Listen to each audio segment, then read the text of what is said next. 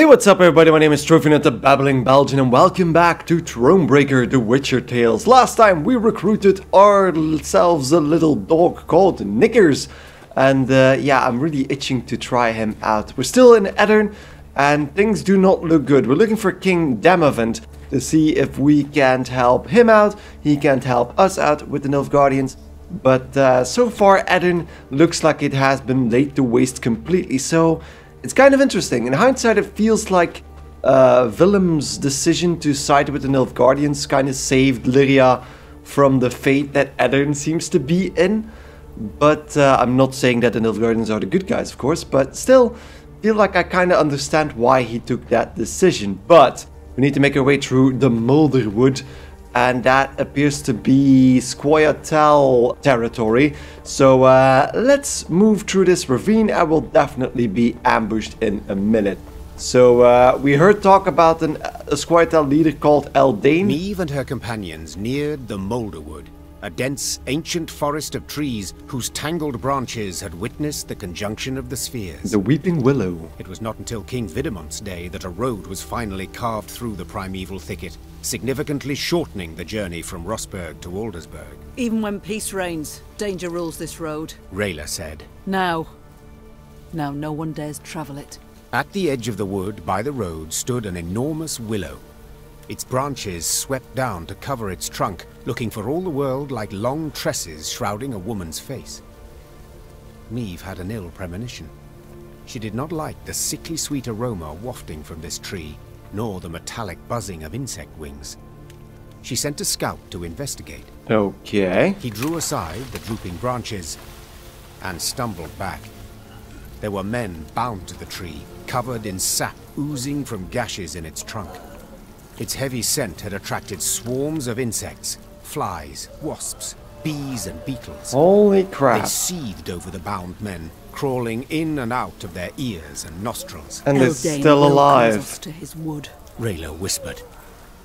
Meve stepped towards the tree and saw the men stuck to it were all still alive. Those the elves had caught recently writhed and howled for rescue. Those hanging longer merely followed the queen with half-crazed, bloodshot eyes. Jesus Christ, this is horrifying. Free the captives or keep your distance from the tree. I mean, I've been taking the good side, I mean the, the morally good decision every time, but I feel like this is not a good idea. Are these guys not infected with something or are they just hurt? Okay, let's see if we can try to free the ones that we can actually, that are still kind of alive. Well, are you to stand there all day? Meve screamed to her dumbstruck Lyrians. Free them at once! Her soldiers needed no more prompting and set about sawing at the ropes with their blades. As soon as they had freed the first captive, before even a word of thanks could be uttered, a flaming streak soared through the air and stuck in the tree. The oozing resin burst into flames, engulfing the prisoners as well as the soldiers who had come to their aid. Yeah, we just lost eight soldiers. cries rang out from the woods as elven warriors launched their attack. It's a trap! Cried Reynard. Defend the queen! Holy crap, so they bound soldiers onto this tree, covered them in sap, and then just set the, the sap on fire. Okay, great, here we go. Scoia'tael, which means we do have a bit of an advantage with Rayla, because I think she gets boosted every time we kill a Scoia'tael unit. The Lyrians fought in a veritable inferno, choking and drowning in a sea of crimson smoke, surrounded by the horrific screams of men whose skin had begun to melt and warp. The ambushing elves appeared as specters, black paint streaked across their faces, eyes smoldering with their virulent hatred for humankind. So a single round battle against Scoia'tael. Uh, let's see. Uh, let's just remove every blitz unit we have in here. I think we should get Rayla out of here if we can. So let's get rid of the Morana runestone. Don't need the extra forager. Uh, war wagons are blitz units as well. And maybe get rid of the alchemist. Come on, give me one. Give me one. Give me one. Give me at least Rayla. Come on. Yep. Keep your heads in the fight! They'll seek to blind us with shock and awe! Okay, so egg transforms into. Okay, so egg transforms into his divine inspiration form. And then we have Gascon and Reynard in our hands as well. And Knickers. So Knickers, whenever you play a gold card, summon Knickers from your deck. So that's not good, because I didn't want to really have it like that. This unit may raid your hands for yummy treats. I don't know what that means. I have no idea what that means. But uh, let's use our first drummer. Because both the rows are on fire, which is definitely going to hurt us. And then that unit just damage a unit by 2. If it was already boosted, damage it by 6 instead. It. It being the Elven Archer, it's being the drummer in this case. No idea. Um, let's put Knickers on the field. I don't know what that's gonna do. I'm gonna put him on the same row. And then use the Regiment Drummer to get a War Wagon out on this road to see. Because if I get damaged, Try to win them all. I actually do damage on the uh, on the other side. So that's good. So I think next turn... None shall tread on us! Oh, that's with a cooldown. Yeah, so they can damage us every single time. Those two are down, so they take damage. Ah, that is perfect. Kill them all! So I do want to take out the archers now with Meve. There we go. Uh, let's put another drummer down on the same row as Knickers and the other drummer. Here we go. Army's a waste of time for one And then the turn, what does this one do? Whenever a non-elf unit is destroyed, Now boost this unit by 2. weak. A non-elf unit is destroyed. Okay, so that's talking about us. I think I need to start filling out my board here. So let's use the drummer. Get uh, Scytheman out. Let's put them on the same row as well. Should have listened to me, old lady. Play Reynard because we only have two drummers in this deck, so this is Her fine. Majesty knows what she's doing. And then use the two drummers to again use some, get some Scytheman out. This harvest. I think we'll I do have another- reaping oh. Black-clad heads. Oh, we can turn the tide a bit. So there we go. Watch Let's heads. set another row on fire as well. So three out of the four rows are on fire at the moment. Still don't know what Knickers does, but this unit may raid your hand for yummy treats thing. Apparently it still hasn't happened yet. Hmm. So that's a trap. So we need to be careful. So let's just use the forager on these two. I only loot corpses, but sometimes they're quite fresh. Damage it until its power is equal to the War Dance. But we do get boosted, egg boosted there, which is interesting. I'm gonna leave the Forager as it is for now. Because if I can get egg in between there as well, it's gonna get boosted by a lot now. Have strength, my love. Okay, an Elven Mercenary. After two turns on turn start, damage adjacent units by 6. If anywhere destroyed, move it to the other side of the battlefield. Adjacent units by 6. If anywhere destroyed, move to the other side of the battlefield. Okay, I don't want it to destroy my units there. So I'm gonna start off with the Lyrian Horn now. And hope, I'm hoping that's enough. So let's just use the Lyrian Horn. It gets them up to 7, but if the fire works again, then I'm gonna lose Knickers, sadly. Oh, what the hell did he just do? He ate something in my hand. He ate the artifact. Knickers ate the Lyrian Merlot. okay. Okay. Um, that's not good. Because of course now I can't use the Lyrian Merlot. uh, very interesting. Um, let's just use the straight. I need to be careful because if he starts, that's not good. That's not a good power. Um, let's deploy the slinger and put the three front units on the fire row. There we go. And that gives us, yeah, more stuff. Here we go. Ooh, this is gonna be, this might be bad. The storm is coming. Let's enjoy the weather while we still can. Um, let's put Gascon on the field. In between the Scytheman and... Nothing personal, I assure you. Okay, let's end the turn. Then we'll use me even the final turn. to do Death as much damage One! as we can. The Vrihedd Brigade, no ability. And that gives us a lot more egg power.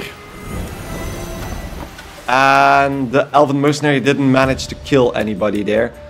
So, first off, Rivian Broadsword on the Vrihedd Brigade, which damages the other commando there as well.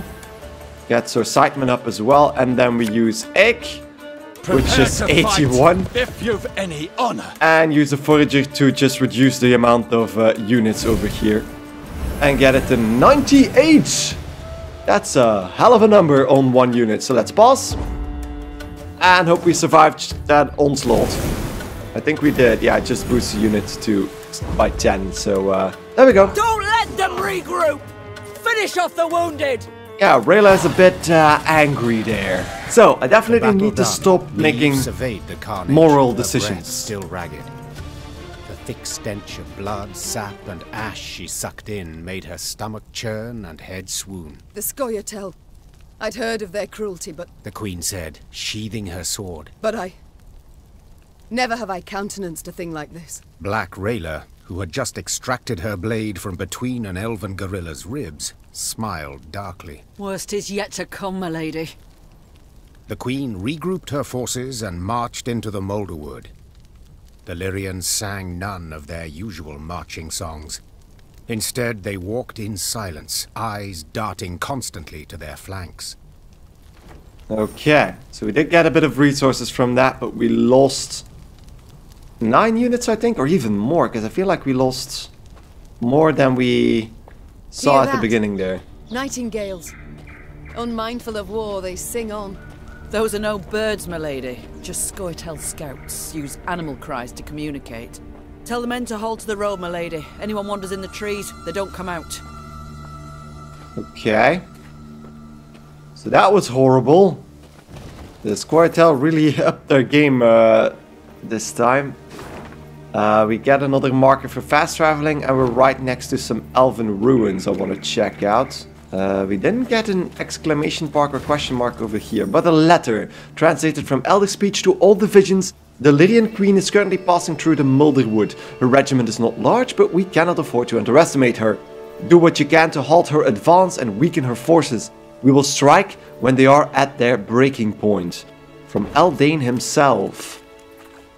Interesting. Uh, I'm gonna check out the map really quickly because I feel like, yeah, so there's areas. Ooh, this is winding. So I could go to the northeast here first into that mill. Or go to where the game is likely pointing me towards. We need to go over there to those elven ruins.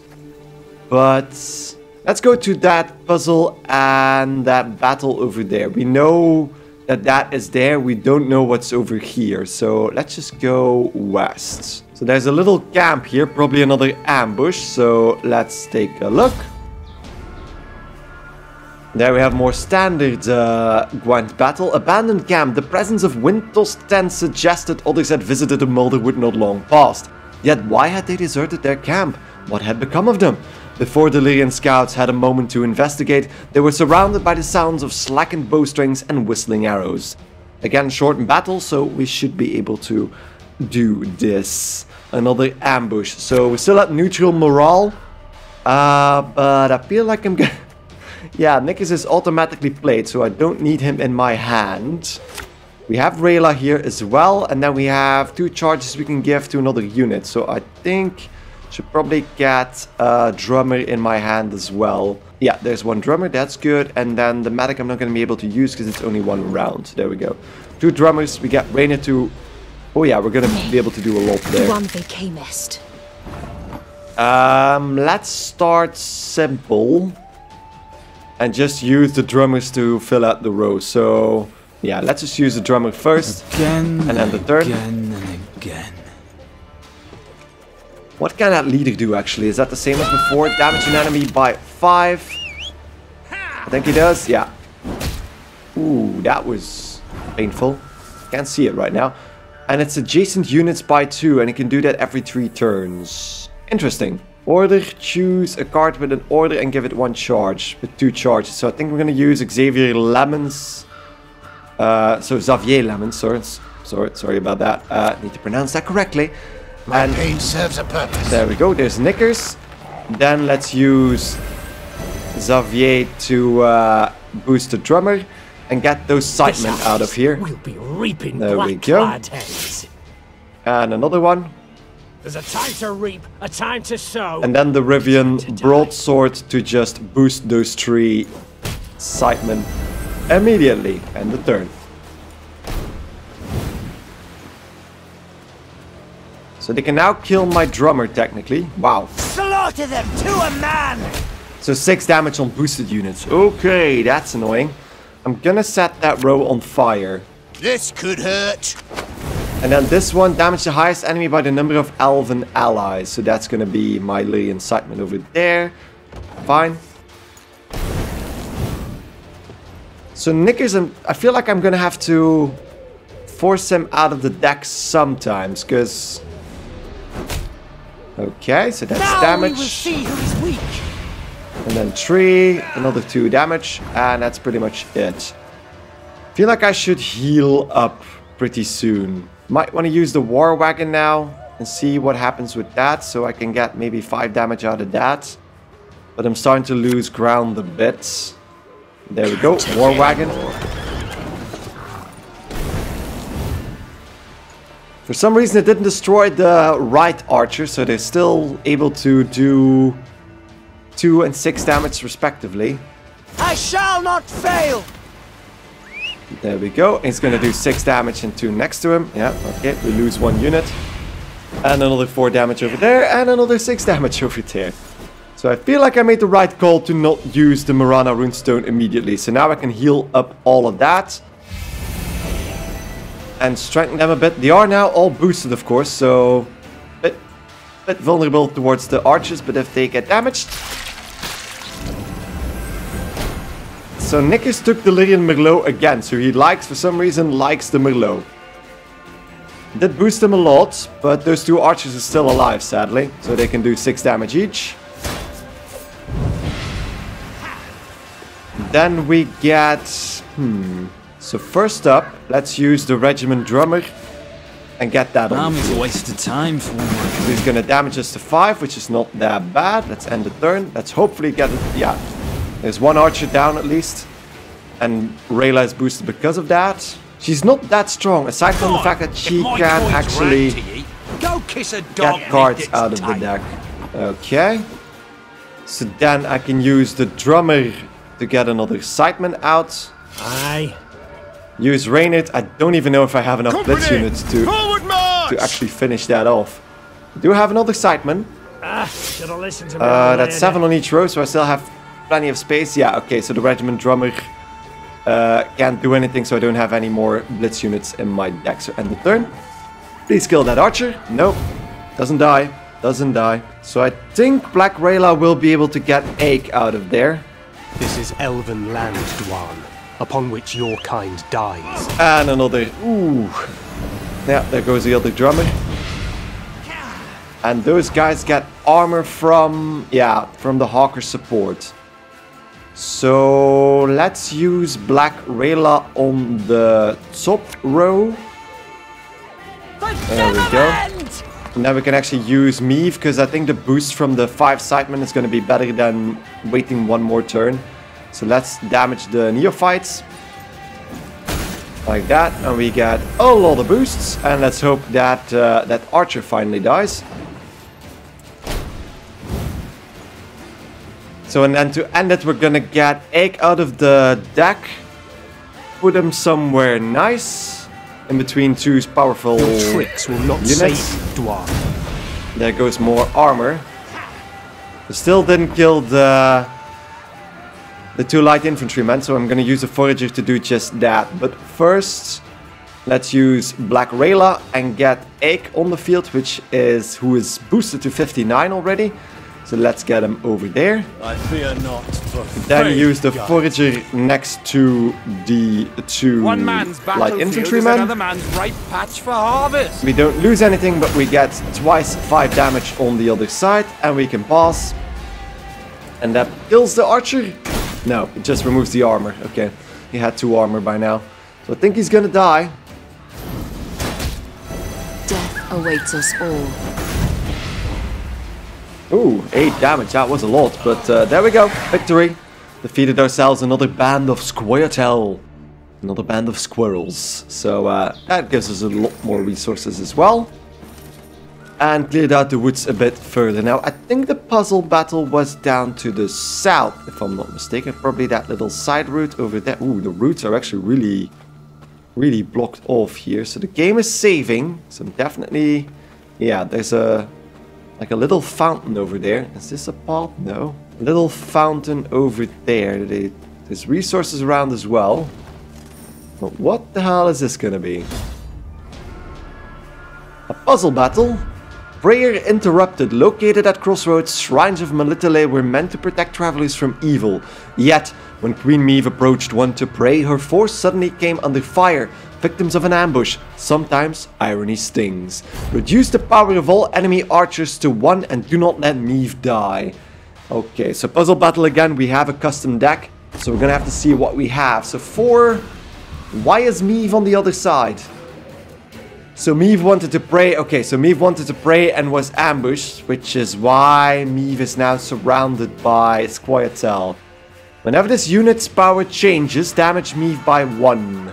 But we need to reduce the power of the elves to 1 as well. So Bekker's Dark Mirror, damage the highest unit on the battlefield by up to 15, then boost the lowest unit by the amount damaged. Then draw and play two Blitz units from your deck, which is all Arbalests. Choose an ally and play all copies of it from your deck. And uh, Aretuza Adept, choose a Bronze ally on the battlefield in hand and add two copies of it to your deck. Yeah, I think I'm gonna have to use Bekker's Dark Mirror first. And then we need to do a combined of 18 damage spread out over the Elven Rogues with up to 7 Arbalests. Because we can make two extra. I think this should be doable, right? Let's start with uh, Bekker's Dark Mirror on that one. Yeah, so now Meve is strongest, so she can take a few hits. Then we play two Blitz units. I'm gonna have to start counting here. Um, so if I put that on the same row constantly, I should probably go with one on one, two on one. Yeah, I think I know what I, what I need to do. So play one. Give me a time. And put it on one elven rogue. And play another one with two. Your command. And then we need to put it on that one. Then end the turn. Use the Aretuza adept to fill up one row. So put her over here. Doubt I'll ever pay off these school loans. There we go. We got Illyrian Arbalests. And then the turn. So we added those in the deck. So now we have five Lyrian Arbalests. Choose an ally and play all copies of it from your deck. Here we go. Let's use the Lyrian Arbalest over there. And start counting. So technically on the front one, two and three should be ah. enough. So if I do two and then three, we have enough. Then we have four on that one in the back. And then three. I'm gonna do too much, aren't I? Give me a target. Oh no! Yeah, I made a mistake. I know. I needed to. Can I cancel that? Yeah, okay. So I can cancel it because I can get to five, and if I damage Meve instead, which is weird, but that's the way we're gonna do it, and then six with the last one on that one, and we got them all. There we go. So does that mean we actually capture those guys or not? Because they're not dead. There we go. This card has been added to your command tent. Bekker's Dark Mirror. So it's a really cool card. So it kind of inverses damage or boosts. So you can either use it to damage a boosted enemy or boost a damaged enemy. Uh, or unit in this case. So uh, I'm wondering what it does, if it does the same thing in here as it does in Gwent. Because it kind of did. Uh, so it's probably a trinket. Yeah, there we go. Damage the highest, oh, so it's the same. So damage the highest unit on the battlefield by up to 15, and boost the lowest unit by the amount damaged. Is that better than, so that's a maximum of 30 points, while I think with the Lyrian Merlot we can do more. Um, I'm also feeling like we need to get rid of Knickers. So yummy treats are probably always trinkets, so that's why he went for the Lyrian Merlot. I feel like Knickers is handy for multiple rounds, but not so much... Because he strengthens himself with the... He doesn't boost himself, I think he strengthens himself with the, uh, the stuff he takes. Yeah, I guess we'll see. So, so let's upgrade the mess tent now. So units excluding artifacts will take up 10% less of the recruit gap, which just allows us to make a stronger deck in the hole. So let's check out the command tent and rearrange the deck a bit. So now we have 26 extra points we can actually spend. So since we can use the abilities from the drummers so much with uh, Xavier now, we actually allowed the, um, where is it? We added another war wagon, so we added a lot more blitz units in general. So we added the war wagon and then we re-added the cavalry units from the strays. So the marking and continuously damaging uh, stuff. So there we go. Uh, that's just what our new deck looks like. I'm just gonna keep Knickers for now. I feel like he might come in handy in longer battles. So we're just gonna keep him in for now. Am I actually wondering if I can... Can we talk to Knickers? Oh no, he's just sitting here. He's... Did he make his noise? No. Oh yeah, he is. He is making dog noises. Look at him. He's actually smaller than I anticipated. So this is the dog that, that took a piece out of a, a soldier's underwear. He looks small. But uh, here we go. Continue on. on. So there is a chest over there. So I think I'm going to try and loop around and get that first. I might get ambushed again. But I'm constantly at neutral morale anyway. So I don't think it will really matter. There's a battle on the road there. Usually if they are normal signs... Hmm. Those are multiple rounds. But... Uh, before we go into that, I'm to take a little break, so thank you guys enormously for watching.